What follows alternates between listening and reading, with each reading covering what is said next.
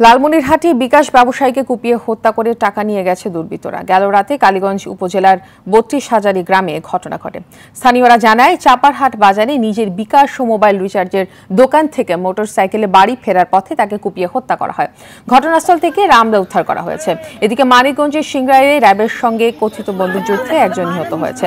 র্যাবের দাবি, নিহত কাউসার হোসেন ডাকাত সর্দার।